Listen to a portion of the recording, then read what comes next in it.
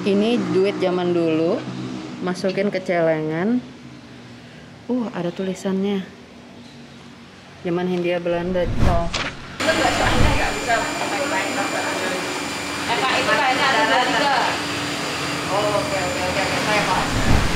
Katanya di sini sepatu-sepatunya bagus. Produksi lokal. Produksi lokal itu penting.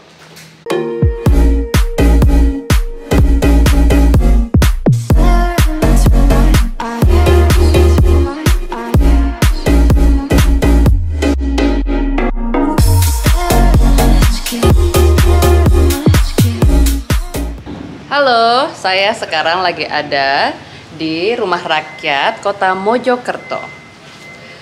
Wah, selamat siang. Ya, Kak Supri. Oh, beliaulah yang membawa ke sini ke pendopo Bapak Wali Kota. Nah, ini adalah Mbak Cynthia Mbak Cynthia yang pengelola Museum Gugupaya pimpinan Museum nah, museumnya itulah yang membuat pameran di sini semuanya. Nih, bersama Wali Kota Mojokerto. bersama Wali Kota Mojokerto.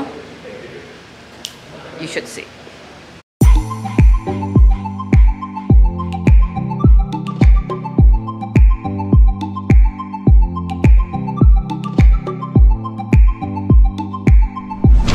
Lakukan di sini itu untuk me- mengembalikan lagi semangat ayo menabung. Ayo menabung. Betul. Cocok buat anak muda. menabung untuk nikah. ya enggak sih? Gitu. Terus Nah, terus. Selain dengan esensi nilai ayo menabung itu yang baik untuk kita anak muda maupun anak-anak yang masih kecil, anak sekolah, kita juga mengangkat semangat pengrajin seniman. Mm.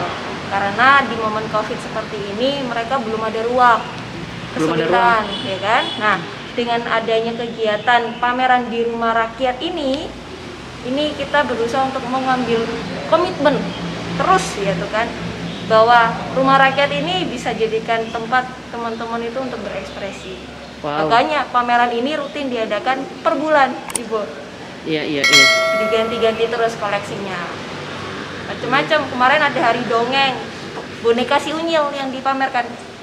Oke. Kemudian ada kemarin Kartini, konde-konde Jawa Bali. Konde-konde Jawa Bali. Kemudian Berasa. kemarin Hari Pancasila dan Iya. Hari Kelahiran Soekarno Ah, kita pameran wayang kulit Pancasila. Proses pembuatan Pancasila itu bagaimana sih sejarahnya? Respon masyarakat gimana?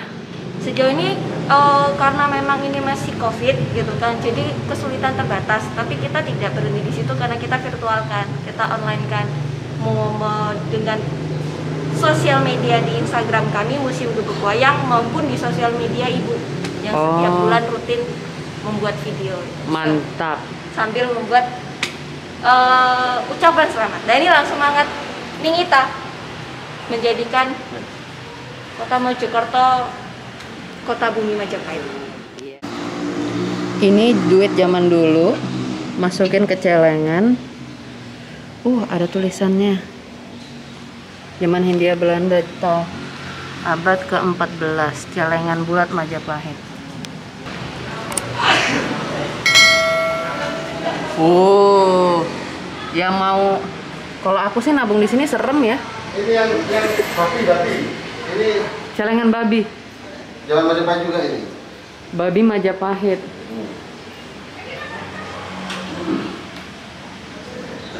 Wow. Ini Majapahit bulan. Hai, sekarang udah nyampe di Mojokerto dan das ketemu sama teman-teman Nasdem. Hai. Hai. Nih. Terima kasih banyak waktunya. Sekarang lihat dulu view yang sebelah sana.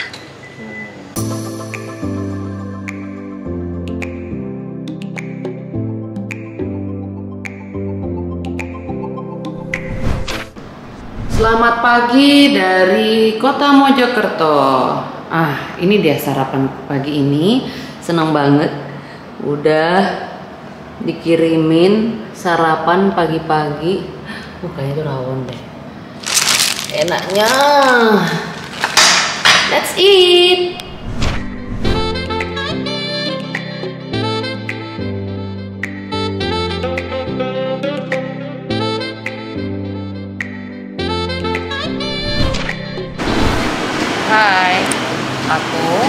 Lagi di tempat onde-onde paling terkenal di kota Mojokerto.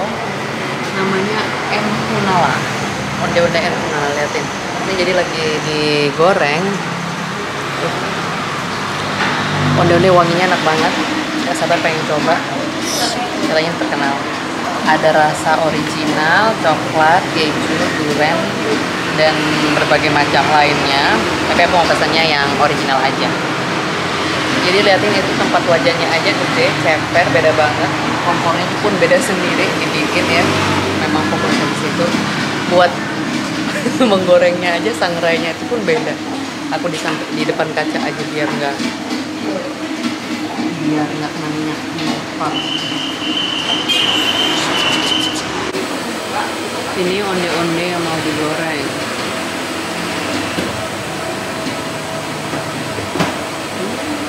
langsung dikurung. panasnya minyaknya baru dicemplungin uh baunya wanginya. Uh. Pindah pindah.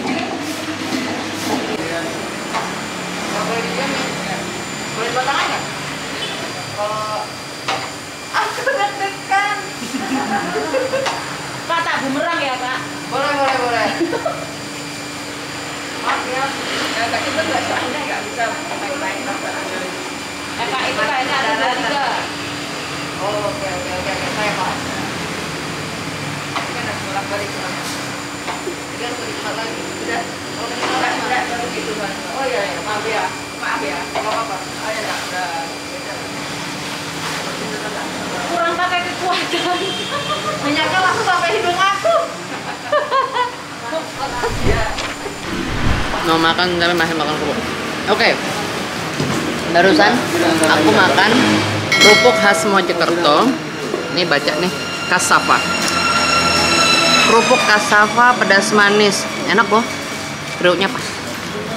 Lalu sekarang aku akan makan onde-onde yang tadi aku goreng. Gue kesannya gue ngegoreng padahal numpang goreng doang. Nama onde-ondenya Boklim Boklim mari kita coba. Resep tahun 1929 uh, ini original kan bukan durian kan Original sendiri. Kan yang rasa-rasa, apalagi rasa yang dulu pernah ada. Nggak jadi makan. langsung nggak jadi makan Langsung nggak jadi makan. Karena rasa yang dulu pernah ada. Masih panas, Kak. Mm-mm. Wah. Panas sudah kegigit. Yang kegigit baru kulitnya aja masih udahnya. Ini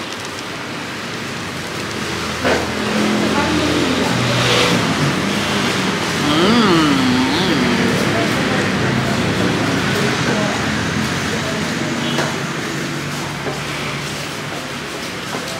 Apa Mbak E? Di Enggak. Mana? Enggak ya, Om. Tuh, enggak pakai mana.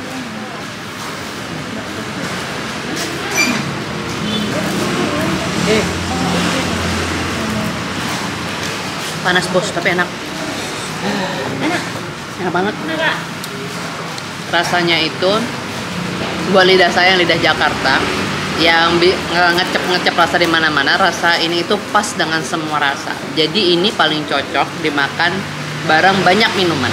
Teh, kopi, mau banyak gulanya, mau uh, apa tawar atau jamu ini enak. Jadi di lidah itu, palet di lidah itu tidak terkontaminasi banget sama ini. Jadi mak- minum yang lain tuh oke. Ngomongnya profesional banget. fix onde-ondenya enak. I- eh, gigitan ke apa yang ditelan terakhir itu yang paling enak. Sangat rekomendasi untuk mencoba onde-onde Boklim Mojokerto. Alamannya di Jalan Empunala nomor 43. Kamu screenshot aja biar kamu bisa ke sini waktu ke Mojokerto itu nomor telepon. Sekarang lagi ke sentra pembuatan sepatu di Mojokerto. Tapi kita memang sepatu-sepatu. Sa. katanya di sini sepatu-sepatunya bagus. Produksi lokal. produksi lokal itu penting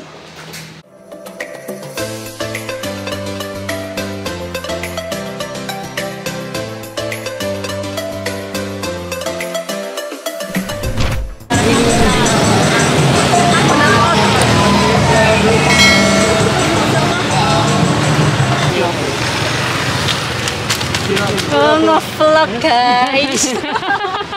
Ini apa pentolnya? ini dia pentolnya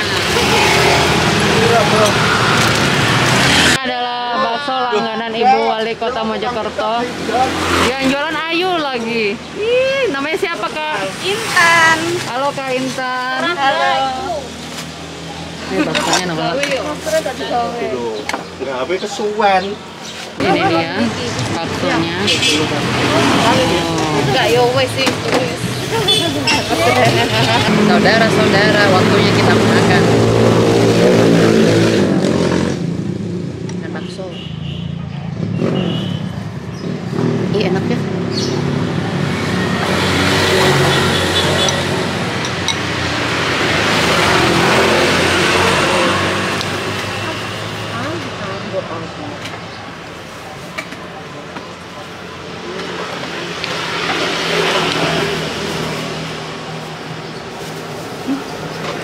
Tiang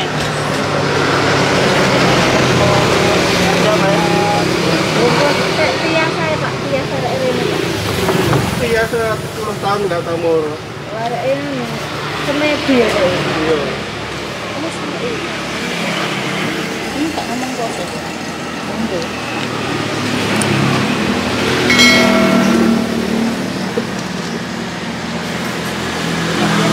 baksonya ini simple dua pentol gede? Satu tahu. Pakai mie instan. bisa juga tambahin campur tapi saya nggak mau ya. Rasanya tuh pas buat sore-sore.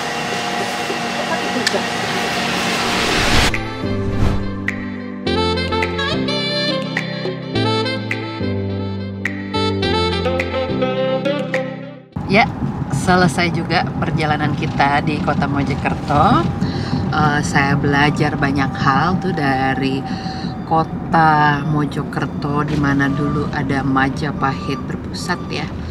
Eh, jadi ada museum, museum wayang. Sayang banget nggak sempat masuk karena lagi libur.